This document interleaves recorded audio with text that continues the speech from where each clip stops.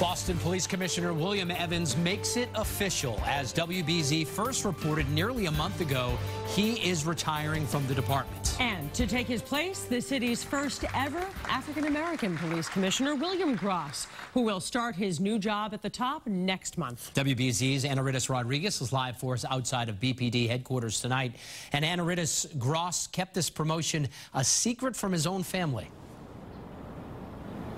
Yeah, it's a really neat story. He actually told his mom that he was getting some sort of award, and she was surprised to see his promotion in person. You'll see that in the piece coming up. But Mayor Walsh says that Evans' is successor is the right fit because they both have similar backgrounds. They grew up in working class families in the city and have dedicated decades to the department.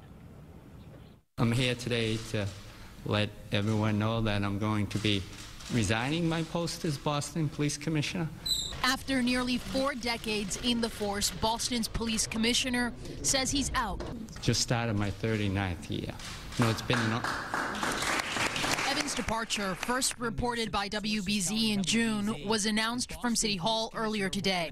During his tenure, Evans became known for playing a key role in the city's response in the manhunt for the marathon bombers, his efforts to diversify the force, and his tough stance on guns. You know, the amount of guns, we've almost taken 3,800 guns off the street. Uh, you know, our use of force complaints are down 46 percent. The 59 year old South Boston native rose through the ranks, first joining the force in 1982. You know, I was a patrolman for five years, a, a sergeant, a lieutenant, a captain for 12 years, a superintendent, and now commissioner. There's been a lot of challenges out there, but I think we're in a good place. Mayor Walsh says it's a good place to welcome a historic changing of the guard.